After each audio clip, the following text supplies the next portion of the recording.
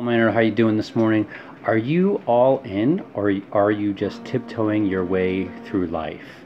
You know, I've been hanging out with a, a lot of really successful entrepreneurs, um, coaches, teachers, trainers, multiple six-figure income earners. Um, been watching a lot of Gary Vee, a lot of Diane Hochman, and you know, a lot of people are going through life, you know, the nine to five, um, but they're complaining that their life's not better. They want things that are better, but they're not willing to do what it takes. If you want to make a change in your life, then you need to do something different. You need to be all in.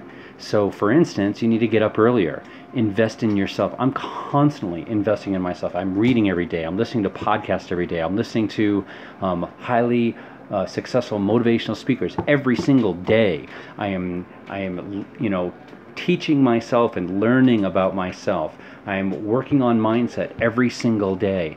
And I'm also putting myself out there. I've reached out to people. I'm stepping way out of my comfort zone so I can make a big impact in the world. If you have a burning desire deep down inside of you, there's something great that you want to do, but fear is stopping you or you are stopping you, um, whatever business that you're in, whatever program that you're in, and and you're thinking, well, that doesn't work. It's not that. It's you. Okay. So if you want to do something, then you need to step out of your comfort zone.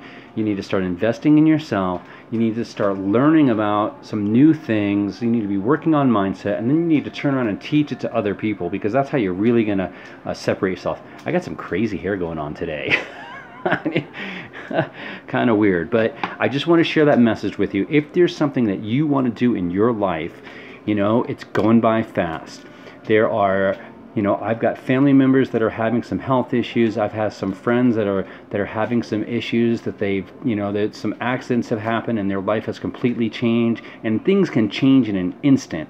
You want to do something with your life get up off your ass do something different have a serious conversation with your with your spouse and say here's what i want to do and then start taking the time to do it. Start learning what you need to learn to step forward to step out of your comfort zone. Stop letting fear get in the way of living the life that you truly want to live. If you need some help love to chat with you. Just reach out to me. All right you guys have an awesome day. Have an awesome weekend. Hug your children a little bit tighter. Tell your friends how much you care about them.